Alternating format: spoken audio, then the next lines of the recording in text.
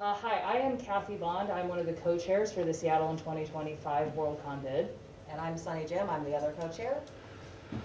And the last time that uh, WorldCon was in Seattle was in six, 1961, not 61. Wait, did I say 1961 or did I say 61? Yeah, that's right. 1961. Okay. There was, there was, there was a bubble. anyways, uh, 1961. So it is definitely time for it to come back. The last time it was there, the Space Needle was not even completed yet. Uh, there was not a monorail, which is a fantastic mode of transportation. Uh, so, and many of us weren't even alive then. So it's time for the WorldCon community to come back to Seattle and see how much has changed and see our fantastic uh, Fannish community in the Pacific Northwest. So our facility is the brand-new Seattle Convention Center, recently rebranded from Washington State Convention Center. Uh, the Seattle Convention Center Summit Building. This is a brand-new building. It's not even quite open yet. It'll be open early next year. And it's really the perfect size for us. Um, I have often said that if someone came to me, who has been in event planning professionally for over 30 years now, and asked me to design a facility for a WorldCon, this is what I would ask for. Um, we're just thrilled with how it works. Um, go forward. Uh, these are all architectural renders because, of course, we can't go inside, it's not finished. Um, but it's all very light and airy with wide corridors and great spaces. Keep going. Um, this is what it looked like a year ago. We were actually able last November to go in and do a hard hat tour, which was super fun. Um, on one end of the building, the walls had paint and there was trim around the windows and they were really polishing it up. And on the other end of the building, there were no walls. It wasn't as fun to take a picture of the completed walls, so that, that's why we took this picture. Yeah, yeah, it was great. Going, and uh, here's what it looked like last week. So it is just about done. Um, We've got some floor plans, which we're just gonna kind of zip through because we don't need to get in the weeds here, but it's basically five levels plus a basement, um, lots of exhibit space. Going, two full levels of these breakout rooms that are endlessly configurable, a giant rooftop garden that's really lovely. And, and then this is the top floor where you have the big ballrooms for large events. And also on the, the ballroom level floor, uh, that's also where you have the views. Uh, you can see down to the sound from there. Uh, it will be spectacular at sunset if we all make it that long, because sunset's a little bit late in August. Um, hotels, we have, uh, currently we're in Sunny, negotiation can you get closer to the mic, please? Sorry. Uh, Currently, we're in negotiation with 12 hotels that are within a five-block walk or less. Uh, The range is 228 to 279 a night. The average is about 250. This is Seattle in August. It is peak tourist season, and uh, they're not hurting to find people to fill those rooms, which is why they're on the high side. Um, However, if price is a, is a factor for you, a quick ride on public transit or light rail gets you to neighborhoods with significantly lower rates. And we will be helping uh, our members find those opportunities. Um, Because our convention space isn't relying on making a room block, it's fine with us if there are cheaper options elsewhere for you. There's also a, of course, a thriving Airbnb market in the area that's, that's pretty useful. Why Seattle in August? Uh, I mean, actually, that, that's pretty accurate. It's gorgeous. Uh, the city is super fun. There's lots of tourism, lots of nature, lots of science and technology. Mara mentioned there's the Museum of Popular Culture. Inside that museum is the Science Fiction Hall of Fame. Uh, and a lot of uh, really fun permanent exhibits, and they bring in traveling exhibits quite quite often uh, that explore genre, uh, genre interests. Uh, there's the Museum of Flight, which is in between uh, where SeaTac Airport is and downtown Seattle. Uh, and we probably will, will arrange for some tours there because we have contacts uh, that can give you some nice behind the scenes thing.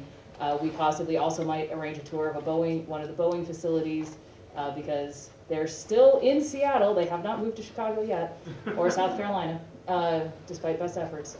Um, and there's just amazing, amazing things uh, to see both in the city and if you are planning tourist events uh, on either side of the WorldCon, uh, getting out to the peninsula. We're not that far from going down to Portland if, if that, if uh, weird Or hips, or up to Vancouver, BC, but for Portland, if weird hipster food court, food carts are your thing, that's the city you should go to. Yeah, and there's, there's pretty decent transit around the Close to city. There's pretty decent transit around the city for the tourist things that you are most likely to want to see. The historic district is also really fun. There's a lot of nature stuff really close by and easily accessible. Um, if you're into hiking or camping, or just, you know, sitting on a bus or a boat and letting someone show you the beautiful places, all of those are easily accessible.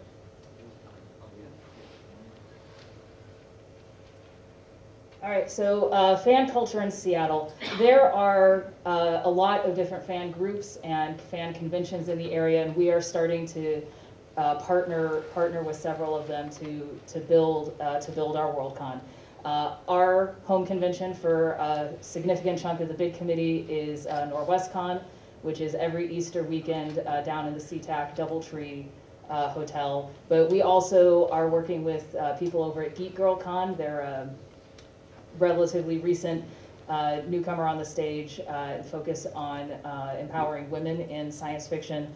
Uh, then other cons in the area would be OrcaCon. They do they focus on tabletop games. We have some biggies uh, in the area with uh, PAX West, uh, SakuraCon, Emerald City Comic Con, and then uh, we also have uh, weird. I, I mean, I'm going to say weirder with love, with love for anybody here And respect. and respect. Uh, but horror is not my thing. Uh, you know, but there's also Crypticon. And then, you know, we have our, our tech giants in the area Microsoft, Adobe, Google, Facebook hasn't laid everybody off yet. Um, Amazon. There's also a uh, thriving games industry in the region. Um, we're not necessarily a hotbed for comics creators, but we're a huge, huge incubator of games and gaming companies, um, both in digital, tabletop, RPG. People like Niantic, uh, Big Fish, Green Ronin, Twitch, PopCap, Bungie, WotC, Pathfinder. I mean, if, if you've been anywhere near games, you've been talking about Seattle, Seattle produced products. And so uh, with that, I guess we'll, we'll close our part of the presentation before questions with, uh, join us, please, please join us. Um, we are actively building, uh, building our team at this point and are interested to hear from you about uh, how you, how you'd like to, to help us out and be part of our community of, I, I like to say, you know, especially in the Pacific Northwest where uh, very maker inspired. So we're a community of doers and learners and participants, and we want to invite you to, to come be that with us. Great, thank you. Uh, Same drill as before. If you have questions, please write them down and bring them up here. I am remiss, by the way, I should have mentioned that uh, most of our bidders have prepared uh, responses to the bidder questionnaire. Uh, Buffalo certainly has one, Seattle has one, and they and the others uh, who have submitted them are available via the Grenadine page for this uh, event, this session. Um, So questions already, as I promised, everybody gets the same question. How much of your programming will be streamed and/or recorded? So what I know at this point is that we will likely have at least three panels uh, that would be streamed at any given time from on-site. Uh, we will likely have our large programs streamed as well. And then it- we will have a virtual program in addition to our in-person program, which will be as large as our virtual team makes it. Uh, I have another question that will be asked of all the bids, so get ready. Um, And I ask that you keep your responses relatively brief to it, a very complex question. What is the human rights situation in your host country? I'm let you take this one. Thank you, thank you all. Um, and brief. Uh, I guess, I mean, what is the human rights situation in the United States? I mean, the, the cynical leftist, uh, leftist activist in me wants to say, not so great. Um, but that's not, that's not also a complete answer. Uh, I would say you know, the city of Seattle ha- has a lot of local initiatives and a lot of local regulations and laws in place uh, to make the city as welcoming as possible to as broad and inclusive a group as possible. Uh, we have mandated, uh, multi-gender restrooms, uh, for, for trans people, uh, single, single stalls, that's, that's mandated in all city facilities and anybody working in the, in the city. Uh, we have, we are a sanctuary city, um, we, you know, so, so I guess do with, uh, do with that as, as you will. What are the dates of your convention? Aha, that was on the slide that, that didn't work so well. Uh, August 13th through 17th, uh, 2025, that is what we are uh, basically uh, contracted with, with the convention center at this point. Okay. Uh, How late does public transit run, since the cheap hotels are on it? Uh, The light rail, uh, light rail runs until 3 AM, takes a break and restarts at 4:45 AM. Okay. What is the people capacity of the convention center? Um, off the top of my head, I believe it's around twelve. Um, as we've been talking to them, we've been. Twelve thousand. Yeah, twelve thousand. As we've been in negotiation with them, we've been talking about a convention. Uh, pre-pandemic, we were saying that our target was in the six to eight range, and they were like, yeah, totally. And it's clear that ten would fit just nicely in the top five floors without using the, the lower level. A- And that's my next question, is are you, assuming that the convention center is vastly larger than you need, you'll be giving away other space to other events, correct?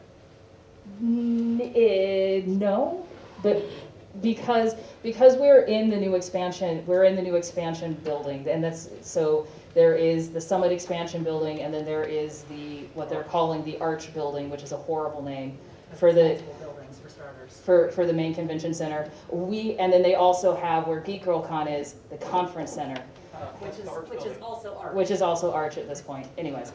Um, anyway, in the Summit Building, we are taking all of the floors except the basement.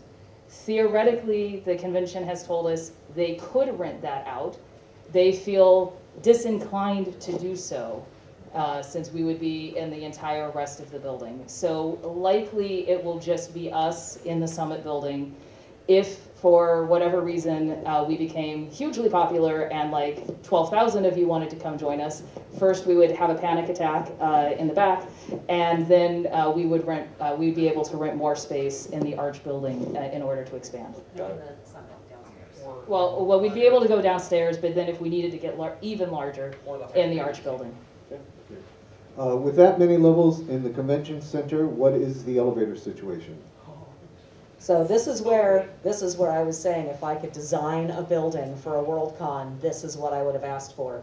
There are elevators in multiple corners, multiple bank, you know, eh, banks of multiple elevators in multiple corners of the building.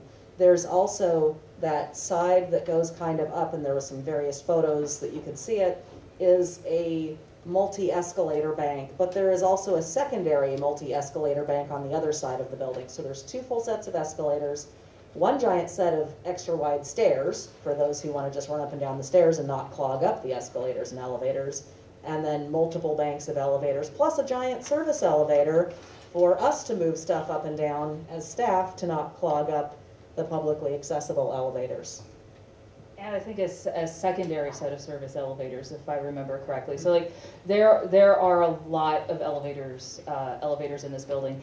And just to, the, the rendering we showed of, of the, the, it's a, called the hill climb, uh, in the building. The, the hard hat tour giver was very proud of it, uh, because there is some, there is a infamously in downtown Seattle, a hill climb. You climb up you can climb up and get fantastic views, and the hill climb sort of replicates that if you want, but also will give you views uh, down Pike or Pine, down Pike uh, to the sound as Straight well, to the water. straight to the water. Uh, Will you have tax exempt status with the city of Seattle and or the state of Washington in order to? So we we are uh, incorporated as Seattle Genre Alliance. We have been uh, for about a year and a half now. You can uh, email us and we'll send you our paperwork. So we are a nonprofit uh, Washington Washington State Corporation. We also are registered as a 501c3 nonprofit with the federal government, and uh, all of that paperwork is available um, if you want to see it. And I believe the question was specific to city and state taxes. Yes. They're not exempt from city and state tax. No, it's not exempt from city and state tax. Um, we are not, no nonprofits are exempt in the state of Washington from state and local taxes. Okay, there are two big events for the WorldCon, the Masquerade and the Hugo Awards. Do you know which nights you're going to hold those events? And where? And where? They will be held on the traditional nights of Friday and Saturday. Um, they will either be in the large ballroom on the top floor, or if we get large enough to uh, afford it, uh, if we go back to the very first slide of, with rendering of the, the building. Uh, no, next slide. Or Keep, keep going back. go, keep going back. That one. Oh, sorry. My bad. You can see that sign across the street. That is the historic Paramount Theater. So if we get large enough, we would like to look at that theater to run those events in. Um, but otherwise, if you go forward a couple slides, What am I looking for? uh, the, the top floor.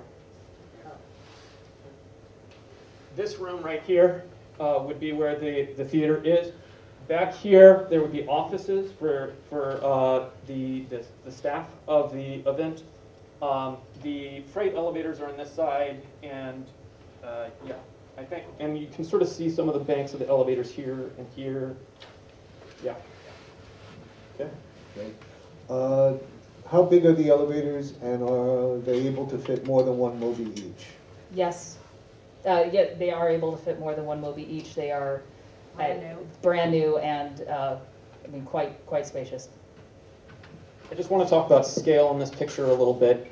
Um, this hallway here is as wide as this room. For, for the benefit of people streaming, we're looking at the level Um, five ballroom. this is the level five. Th- This hallway, and there's this kind of hallway on every floor. That hallway is wider than this room. Um, it is a significant space where they can set up pop-up restaurants and whatnot. There has been no US WorldCon over 5,100 attendees since LACon 4 in 2006.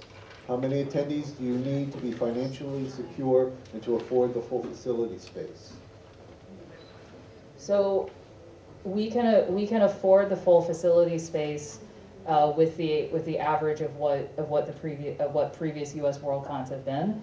We are extremely hopeful and, and with, with some, with some backing uh, to our hope, uh, that we will be able to get a lot of locals because Worldcon has not been to, been in the Seattle area for a very long time. There's a lot of excitement uh, from people who have wanted to go to Worldcon but cannot just, just really can't, can't justify the five, six hour flight uh, to get, to get someplace else. So uh, we feel pretty confident that, that we will, we will make our membership numbers to, to afford the space.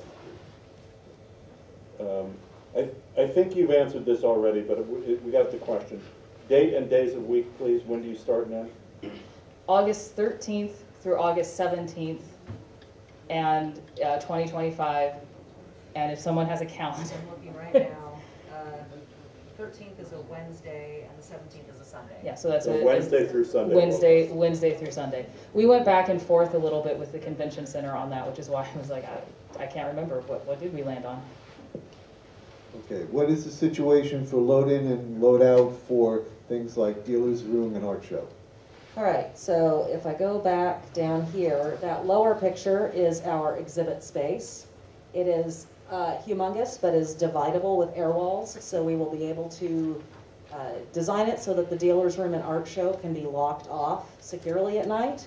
Um, There is a, a variety of freight elevators. There's also a loading dock. The, the space across the street is also owned by the convention center and has a ramp that goes down from across the street into the lower level and uh, spirals down in there and has uh, the first floor there, the upper slide, um, shows also there's about a 240 space parking garage in that first floor, which we're um, talking to the convention center about ways in which we might use that. And certainly dealer load in and load out is one of our chief concerns. Great.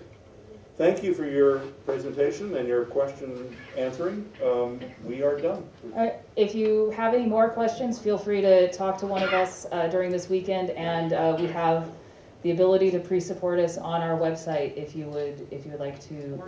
Or, or in person, we can, we can take your money from you in person, it's, it's not a problem.